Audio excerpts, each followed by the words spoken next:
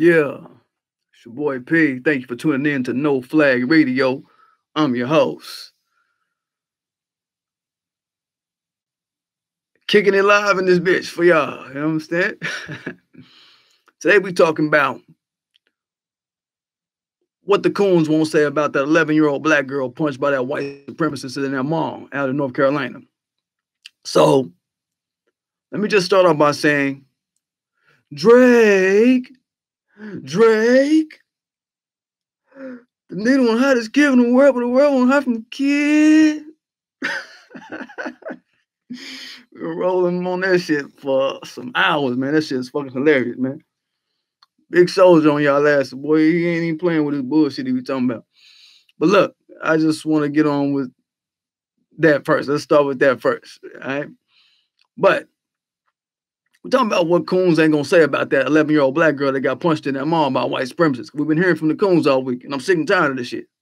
So we know out in Asheville, North Carolina, in a mall, a white supremacist fat tub of lard named David Bell is to be in court on the 5th of February this month, this coming month, for his assault on three black girls in a mall. And you know me, I like to, know, with these ambulance chasing their stories, I like to wait and hear what black people going to say. Take the pulse of my people first. You know what I mean? To see who on cold, to see who heart beating and who not out in this bitch. Right?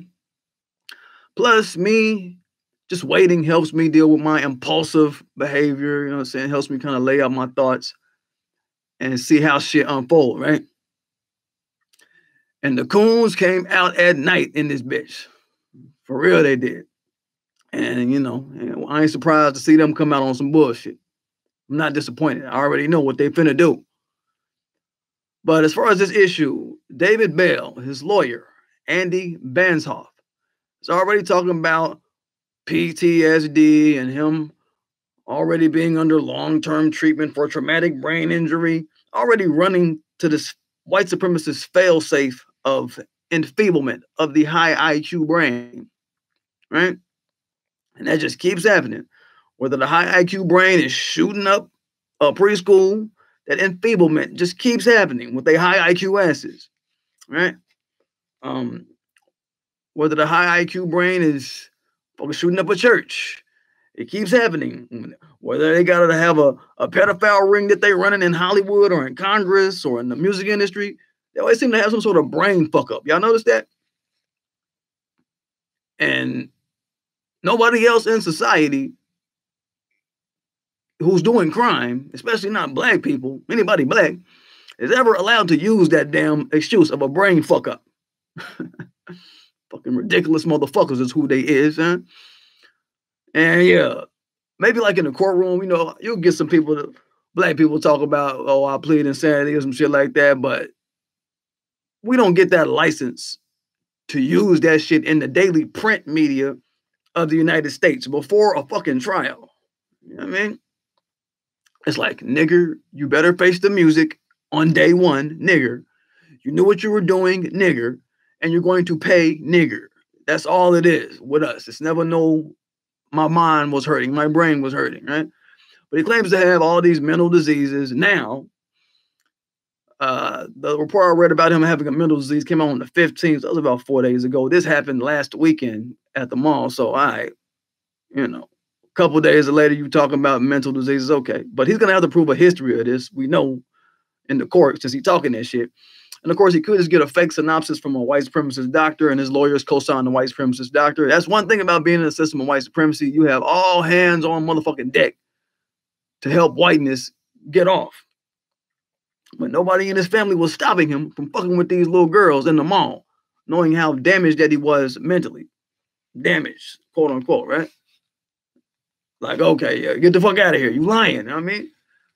His brain injury was not that severe to where he couldn't pester these young girls with his family sitting there watching him have a mental episode and them not intervening, right?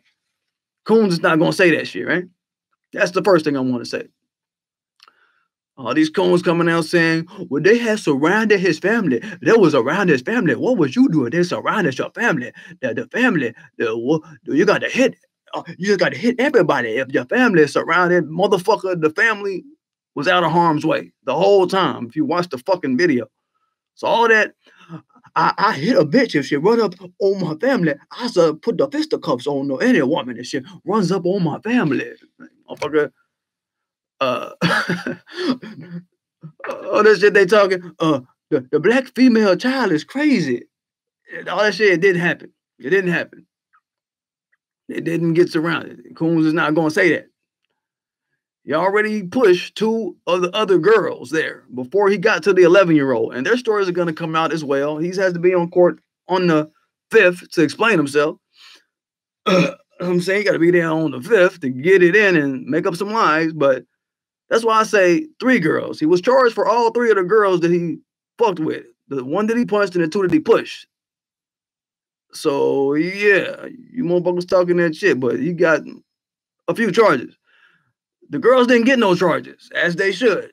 And he's gonna have to explain why his family just allowed his PTSD ass, his trauma having ass, to just run wild on children in public. He's gonna have to lay that flat. Just giving you some, just giving some time, you off coon, off cold cooning motherfuckers. off coon. Yeah, you should. You better get off cooning. You you off all right as a coon. All you mark ass niggas giggling and bitching like hoes over the shit. They got something to say about this child defending herself the best way she know how. You know I'm saying? You y'all y'all on the coon pill.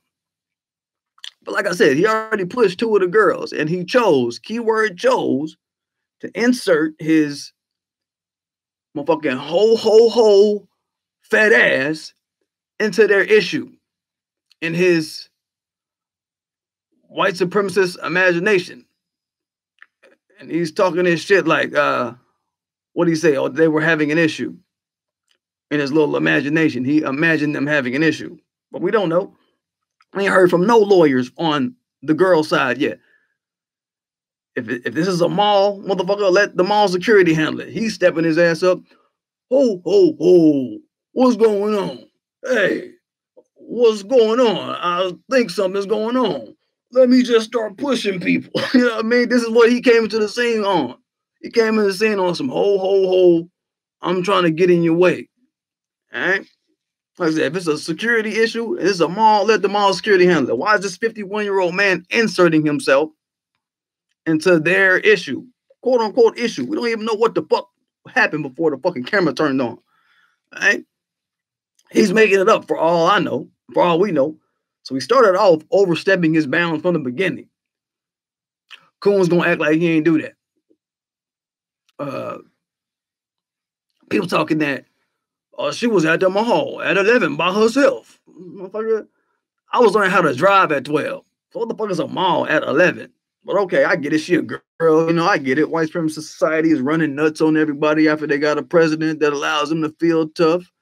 I mean, they got police killing black people that make them feel tough. Okay, okay. And she wasn't with a bunch of 11 year olds like these cool niggas is running with. They running with that shit. Talking about she was of 11 year old. Like, no, they were older kids. The other adolescent kids that he pushed, they were 13. He pushed some above 12 year old kids in the mall. And 13 is mall going age in a lot of places. 13 is not no, a lot of 13 year olds go to the mall. So, and uh, I also believe that they even had some older people that were under 18 that were there as well. But Coons don't want to hear that shit either. But okay, punk ass niggas. Right? Uh, what gets me the most is you got dumb people talking about her parenting. Black people talking about her parenting, right? Which is off code than a bitch. And I brought this up in Corey Holcomb chat. I brought this up in the Zo Williams chat. I brought this up in the Tariq Nasheed chat. And people was like, yeah, bro, Corey tripping and niggas like that be tripping, right? And this ain't a slight to Corey and like that. Niggas, niggas already gave it to him pretty much. um, this is just me letting him or anybody who fuck with him know the code around this type of thing. If you are even up for knowing that shit, right? You can't, you know, you can't force nobody to know no shit. But the point is, when these situations happen, an altercation or some shit like that, with somebody white assaulting somebody black, you can't jump to personalize every altercation you see that we have with white supremacist society. Because when you're black and you personalize some shit, well, what are you looking at? What are you then looking at? You're looking at black people, not white, because you're personalizing that shit. Unless you got personally white people all through your family and all through your life experience that you're using as a lens by which you filter your view of white people through and how white people treat black people, right? When you personalize as a black person, you're perpetually pointing your finger at black people if you do that. Is my point. And you're not going to be getting to the root of our activities and engagement here in a white supremacist society. When you have a racially polarized issue, you're still not getting to the root if you just personalize it about some shit you got going on with black people in your life, right? Like rules play different when they up to bat, white supremacist society, right? So being on code removes you from the personalizing. It removes you from the personalizing of a situation and it puts you smack dab on the playing field that white supremacist terrorist society deals with you and everybody black on. It deals with your people on race, right? So in addressing uh, the brother Corey being off cold or not knowing the code, whatever it is you call it, and the niggas that want to be like him and talk like him, whatever the fuck, hey, nigga, never, never, ever, never, never, ever will the dominant society of white people say, hey, that little 11 year old white girl who got knocked out by that black man who was trying to insert himself into her and her friend's day at the mall by pretending like they were fighting, because that's what I saw. So he could go over there with his mental enfeeblement, leave his family and shit. Nobody's gonna say, she probably come from poverty and she ain't shit bitch and her mama a funky bitch and she's struggling and she stay in a low income trailer park and she smoke meth and she fight men all day. Like they're not gonna do that right? So you coon ass niggas. So I'm just trying to help y'all to be on code.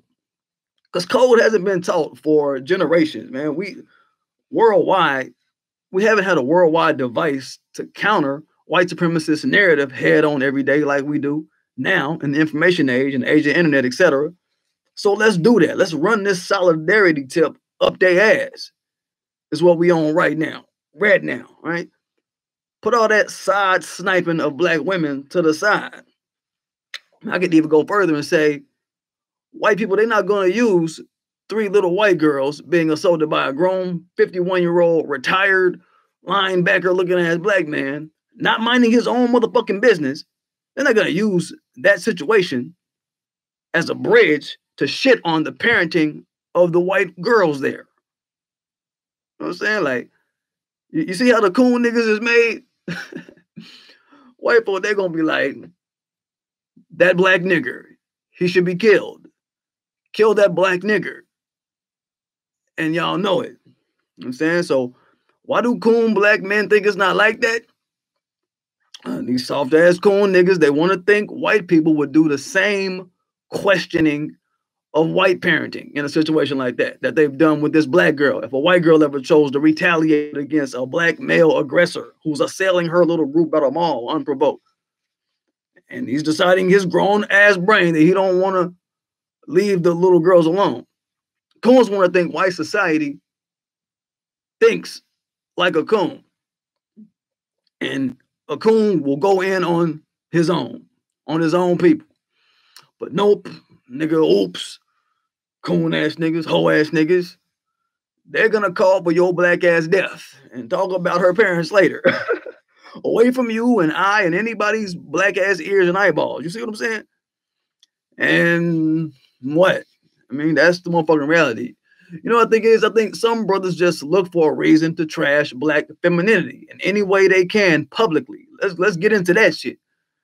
Cause maybe that's how they've been eating and getting paid is by trashing black women. I mean, the money is low in respecting and defending black women. Okay. I guess any black man sitting up watching this piece of shit David Bell run up on uh, bunch of black children, his tub of lard ass, and they sitting up talking that black mamas ain't shit type of shit.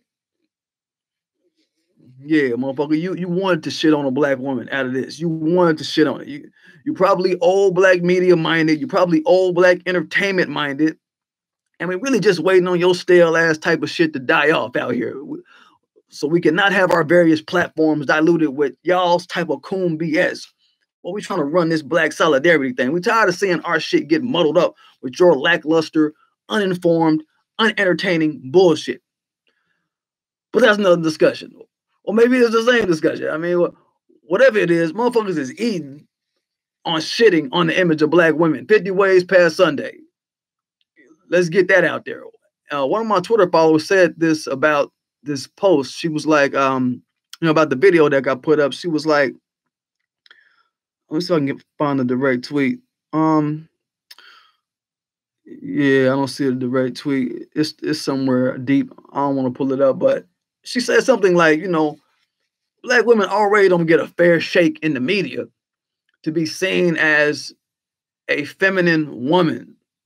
You know I mean, we're only seeing black women being put out as aggressors, even down to the little girls. You know what I'm saying? So notice that shit. The same toxic masculinity shit that black men get falsely painted with, toxic femininity gets suited on the black woman in this society. If you're not paying attention, you know what I mean? It, some shit we all see. Becky, her stinking ass, she get the eternal angelic flower bullshit, right? Can't do no wrong, don't do no wrong, won't do no wrong bullshit, right? You know, you got to peel through layer after layer of love and hip hop and other bullshit just to get the humanized, gentle, but powerful soul that is the black woman. You know what I mean? Just to get that presented to you, at least in white supremacist media, you do. They make sure to keep that black woman's image off of immediate display and be sure to only show the ones that make black women look dumb or uh, they make sure to show only the women that make black women look weak or stupid or monstrous in some kind of way. I don't appreciate it. I don't appreciate that shit. I don't appreciate none of it. And I don't appreciate motherfuckers that's profiting off pushing a program like that in their life, right? A lot of these coons, they fall victim to that anti-black woman programming. Okay, my mic cut off.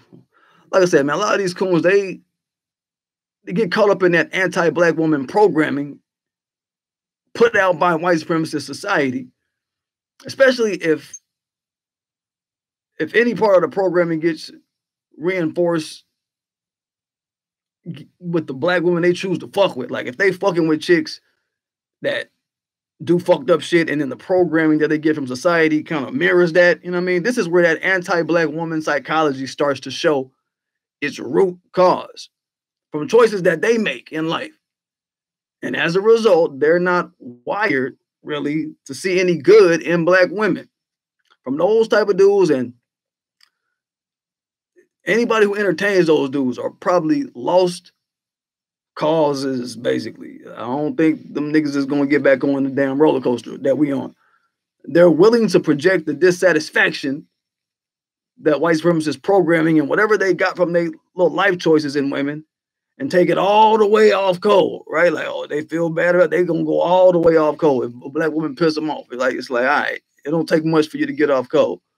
like I said, you motherfuckers was ready and warm to start cooning type shit. That's how it looked like to me.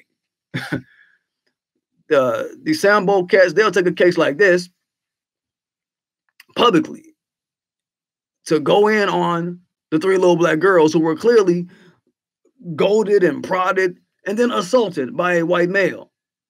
Then they'll come right back around and flip it and twist it and use it as a springboard to go off on black women by proxy. That's some evil ass shit. I mean, these little girls were doing what they were taught to do in response to being disrespected, meddled with, affronted, whatever happened before that punch, right? Like in my June Beauty Supply commentary, where the lady got punched in the mouth.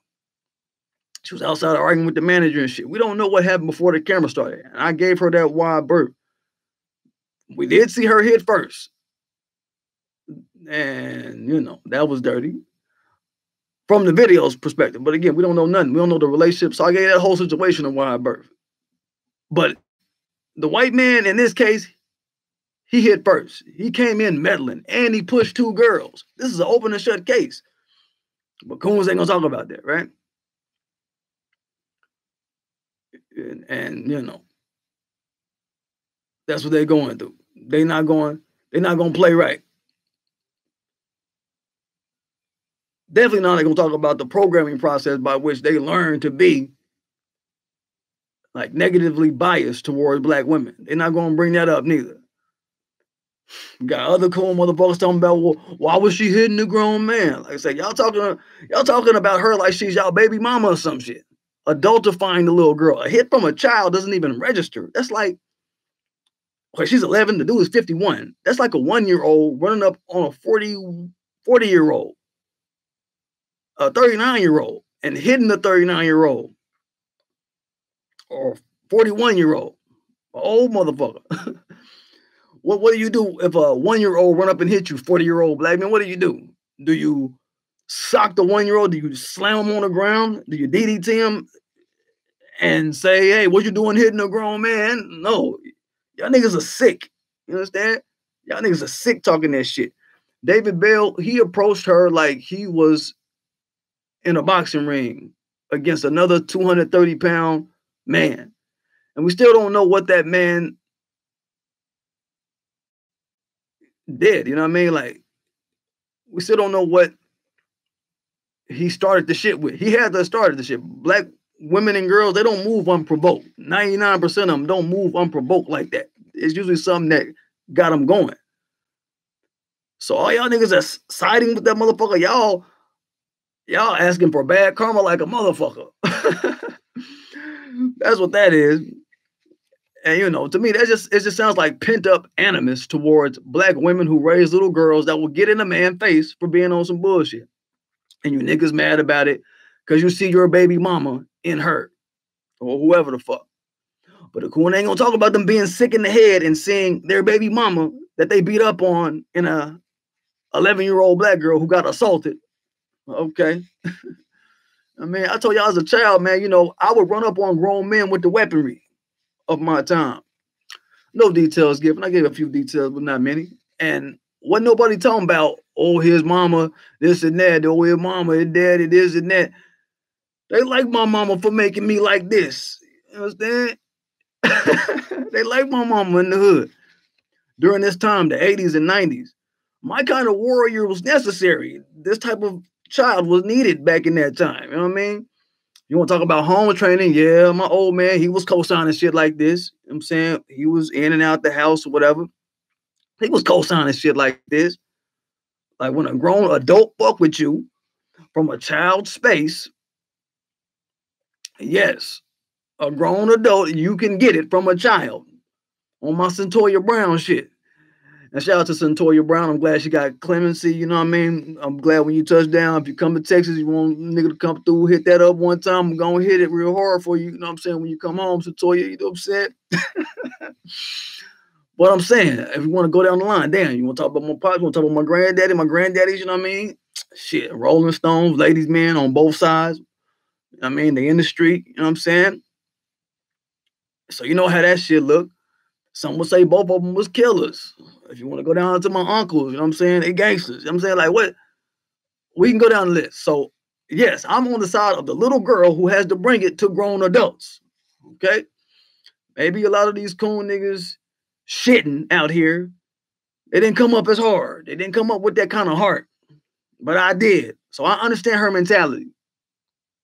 I'm saying? I'm with her type of child mentality. And I'm guarding the gate to what this on code life looked like in the presence of some shit like this, right? With this coon ass pal on when a black girl is assaulted. And yeah, we running up on adults. And we on cold out here. Bitch, get it right. Get y'all shit right. So, you know, the coons ain't gonna talk about the kids who gotta run up on adults as a necessity. Yeah. Yeah. Yeah. So, you know, this is to my young black kids out there or parents of young black kids out there. A lot of cool niggas gonna speak up on shit A lot of cool niggas speaking up on shit. The older, I saw a lot of the older crowd, the I be more the MGTOW ass niggas, the well, y'all said she wanted to be independent. You say your women want to be independent. I saw that kind of crowd speaking up. I told y'all those were the older cats, you know what I mean? wasn't getting no pussy back in the day. They still mad at all women because the women don't fuck with they type of dude. Right? And to them niggas, you know, we can just, you know, I ain't finna age shame, but their generation didn't see children running up on adults as a necessity. Right? Let's just say that. The dude was like 50 right now, 40, late 40s now, right? But this 11 year old girl and these 13 year old girls, their generation in 2019, they did. You understand? And my generation did. So there. I mean, there's the fucking disconnect. It don't gotta be a discourse ending disconnect. Just know where we come from. Just follow the code. Follow the solidarity of the shit. Despite our different upbringing, whatever. That's my point. Don't throw black people under the bus, period, ever. I say it all the time. Black folk, we got moral credit that we can swing around this bitch in white supremacist media and attacking white supremacist abuse when we got to get at motherfucker. You know I'm saying? If you cool motherfuckers to just shut the fuck up and think to access it, access the credit we got before you step up in favor of black abusers. I mean, like that shit is low as hell of you niggas. Y'all, y'all don't know what that grown white male did because the case is still going on. We haven't heard from a little girl yet. We haven't heard from the lawyers. You understand? He could have groped on them, anything. We don't know. Just like I said in the Jazmine Barnes case, so many black people was quick to vilify Eric Black and Larry Woodruff with them not having one lawyer speak up. And now what we're hearing this week. Oh, yeah, his lawyers are saying, man, motherfucker don't know shit about that shit. Yeah, yeah, listen to these lawyers talk. No quoted confessions from either, just hearing a bunch of police talk and police so proactively trying to pre-persuade a jury pool with their bias and the police union jumping out in front to vilify these guys. And I said, you know, why is the police union jumping out in front to vilify people on a murder case that doesn't involve the police? I'm gonna let y'all think on this shit. Why would they do that in? But I'm digressing. Let me just say, I do want to touch on uh, what the brother Corey Holcomb had to say a little bit, not disparaging the man, because that's off code too. Fuck it. But you know, something you hear him say often is that he don't fuck with upstanding black women. now we all know Corey is an actor, you know I mean? He's a comedian, a jokey joke for entertainment type brother. So I want to address motherfuckers who choose fucked up women in their daily life and go into social media projecting destructive off code shit because of it. And if it's not applying to Corey's actual viewpoint, is he just just playing with us all this shit? I mean, if it ain't applying to his actual viewpoint when he's saying this, and when I'm saying this, just know that it's applying to somebody, right? Like somebody live like what this funny man type of nigga that we laugh at, I mean, is putting out, right? Somewhere. because he got an audience for it. You know what I'm saying? But him and his fans, you know what I mean? Will they come out and frame up some shit like that and admit some shit like that that they fuck with low self-image, low self-worth having, low self-determinism, low self-esteem having, low value having type women that can only produce fuckery and heartache in the life of a man. You know what I mean? Yet, those type of cats expect to congregate in a way around an issue like this, where it's blatant that they're venting from being wounded by all these fucked up experiences, right? They'll let their real self-inflicted wounds from their choice association with fuck up ass women automatically stain their appraisal of an assault that happened to a black girl by a white supremacist male. All with no backstory on the shit, all without doing the knowledge, all with no lawyers, just off watching part of a video, right? And to me, that just looked like you letting your personal pain compromise your investigation skills and letting pain feed your daily thoughts instead of separating the anger that you get planted in you by the women you fuck with and all the hurt and all that shit or whatever. and I ain't saying just Corey, just I ain't saying just Corey and who he fuck with, you know what I mean? But the dudes out here who cheering on this black ain't shit gallery behind the shit and the black ain't shit commentary on this assault on three minors that happened.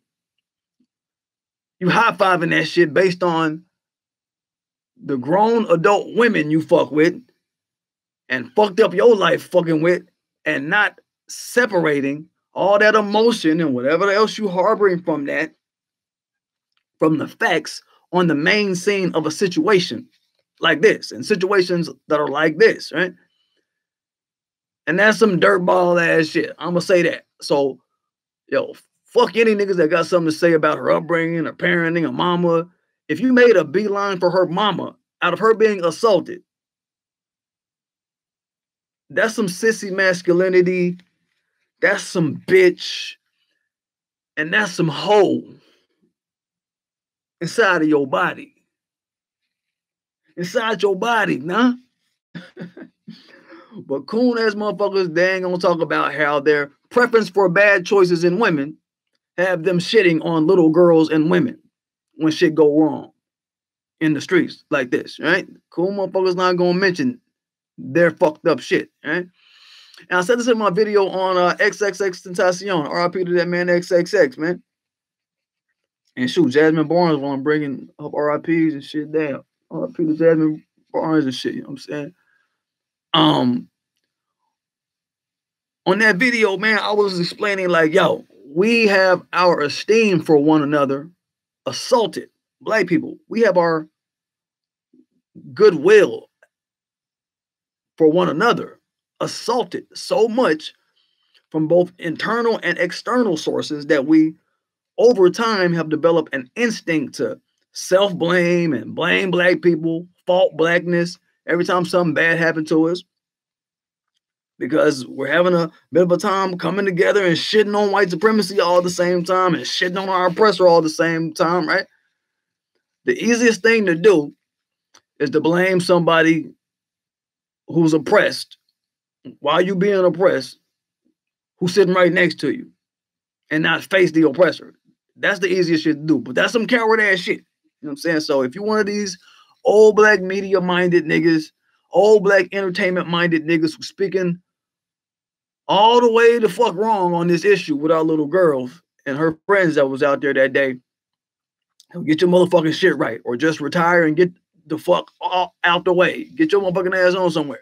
Pro black empowerment is on the rise, and we committed to living by black first code, race first code, first them code. That's what we're doing. So if you're not up to speed or of the same mind, nigga, at this point, it's the hell with your life. You understand? I hope y'all don't get mad, but that's what the fuck shit stay. Where it's going, G. Eventually, our thoughts in the pro-black empowerment space eventually our thoughts will become a system, just like your self-blaming, blame black, black mama blaming thoughts became a system in the black community too. Don't forget that. We coming up. And as we get your dumb ass out the way, and, and as we still stay stomping the shit out of white supremacy at the same time, I mean, just know that that's the shit that's going on. And if you ain't of a singular mind about our enemies and about our detriments out here, motherfuckers is fucking up. Straight up. But anyway, you know, the code of the day is race first. Everybody does it. Shit, check out my Teespring. Let's get some orders today. Things should arrive before Valentine's Day, is the estimation I'm getting. So check me out. I mean, got more to come. Thank you for all y'all who plan on ordering. I appreciate it. Don't forget to go to waytoslay.com Oh, for all your hair and nail needs. If you're in the way of managing it by yourself, you know what I mean? Manage your own hair and nails by yourself. You don't want to sit up and wait for the Asians to fuck your shit up or try to fight you while you're there. You don't want to wait for a barber to fuck your shit up when you just need a shape up or some shit. You just need a trim to get the beard right. So I'm growing my beard right now, you know what I'm saying? but I ain't finna let it be no beard. I'm finna trim it and shit. And, you know, when it comes to a certain length, you, and you better believe I'm gonna support me at waytoslay.com. You know what I mean? Finna get one of them Kame baby trimmers. Shit finna be fly, you know what I'm saying? But don't forget to subscribe to my channel. Don't forget to hit that like button. Don't forget to hit that notification bell. So you know when I'm dropping. Get it, y'all.